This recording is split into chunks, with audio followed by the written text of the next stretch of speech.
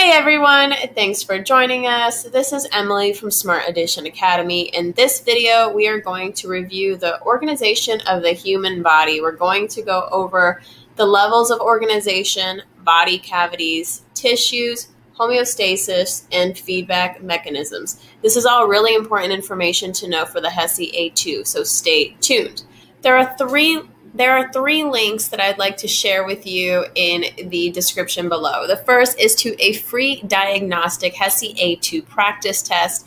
At the end of the test, it will allow for you to see your strengths and your weaknesses within each subject matter. That way, you can kind of know where you should absolutely be focusing and starting at. Our HESI A2 full online course comes with everything that you need to pass the HESI A2, so I definitely recommend you checking it out. Now, without further ado, here is your free lesson on the organization of the human body for the science section of the HESI A2 from Smart Edition Academy. Enjoy. If we're going to be looking at the anatomy and physiology of the human body, we should probably know what it consists of. Let's look at the following diagram. Now keep in mind, as we progress through this diagram, each level of organization can be further evaluated and further divided into different components or subcategorized. For now, we are going to use this as a broad rundown of what comprises an organism, or us. As you can see in our diagram, an organism is comprised of many different structures at different levels, beginning with the atom. Atoms comprise of even smaller components that contribute towards its overall charge or energy levels. Depending on those charges, atoms are considered reactive and can combine together in different combinations to form molecules. One notable example of an everyday molecule is water. Water is an element made up of two atoms of hydrogen and one element of oxygen hence its commonly known name of H2O. Molecules can combine together to create structures that make up a cell, the smallest unit of living matter. But aren't atoms our smallest unit of matter? Yes, atoms are scientifically known as the smallest unit of matter, but cells are the smallest unit of living matter because it is the basic functional unit of life. There are a variety of cells that are classified based on their appearances and functions.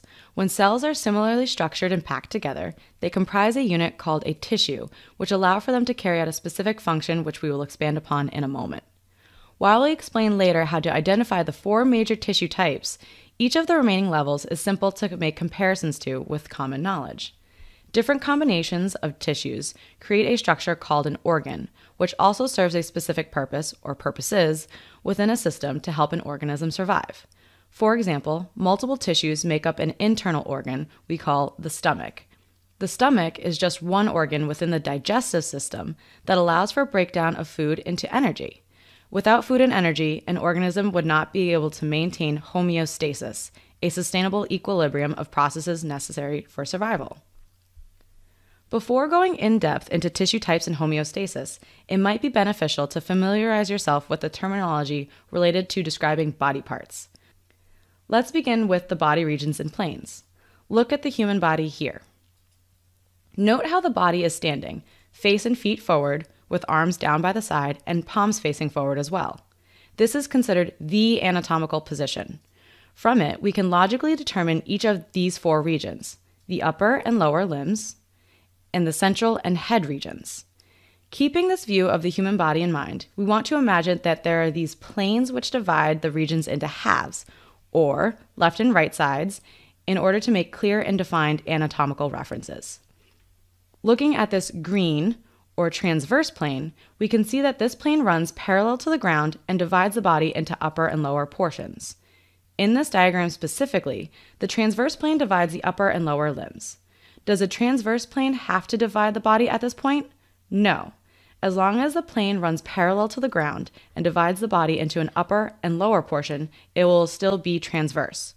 For example, a transverse plane can run parallel to the ground at the knee level, dividing the leg into the upper thigh portion and lower shin and foot portion.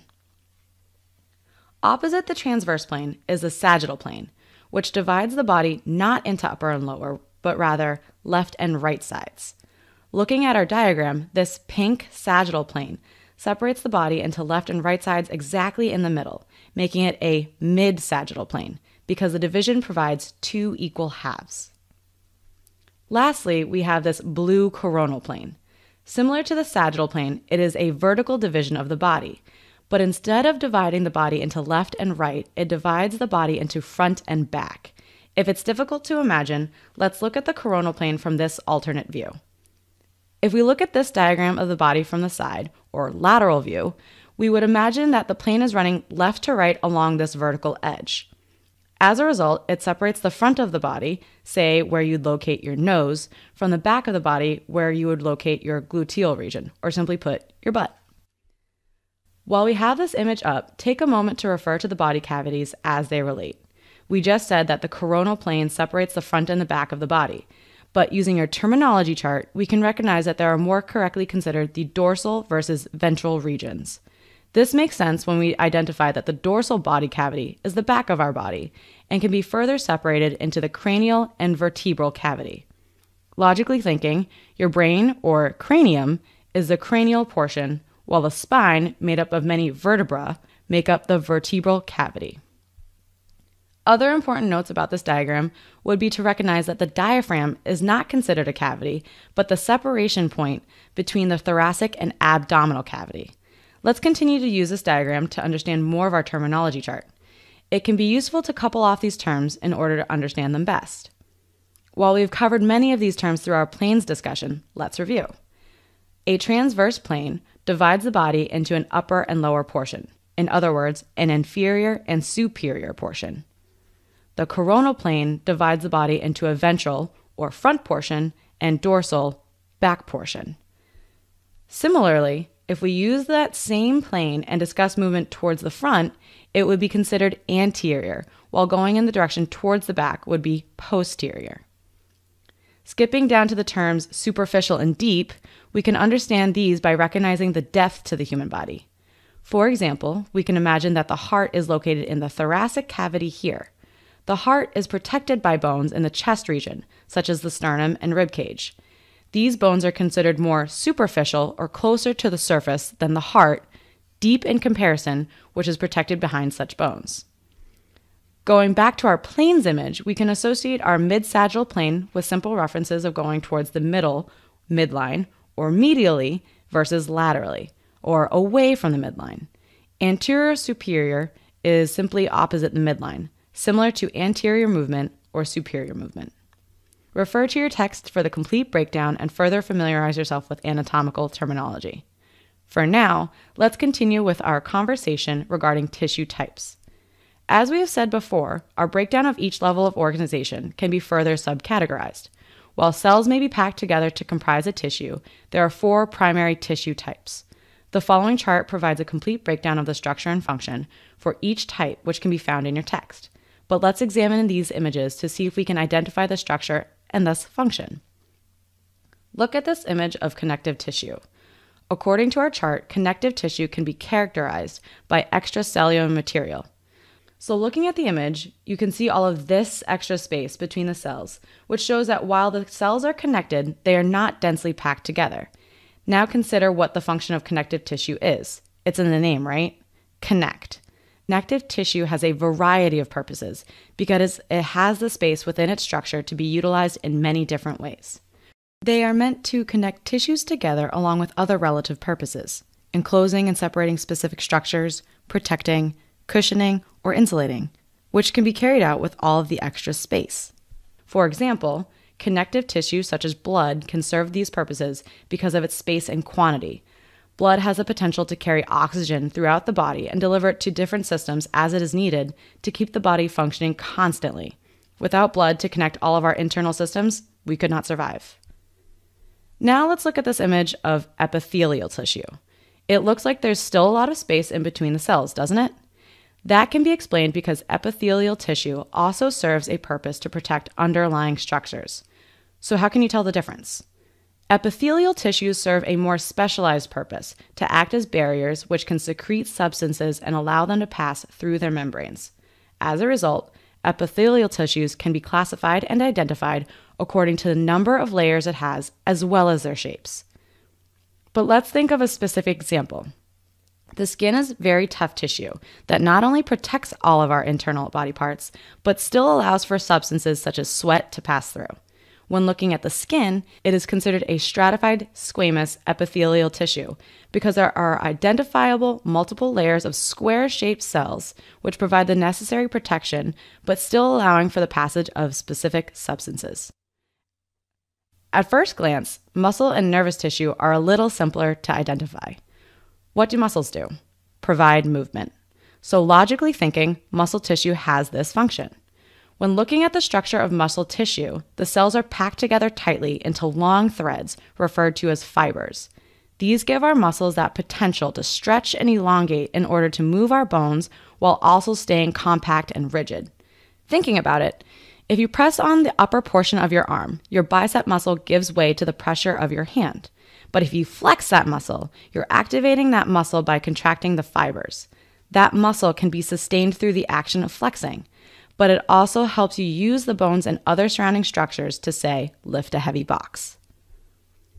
Looking at this final image of nervous tissue, it ironically seems a little nerve wracking. It looks like a jumbled mess of stuff. Perhaps that can be used to your advantage in identifying it. If you recall that the nervous system consists of the brain and spinal cord, it's easy to make the connection that the nervous system is pretty complex. It involves the brain, which has many different areas that work together to help coordinate and control bodily activities, whether or not it's conscious. When we consider this, that happens to be the major function of nervous tissue. In order to carry out this function, nervous tissue consists of neurons, which you can identify here.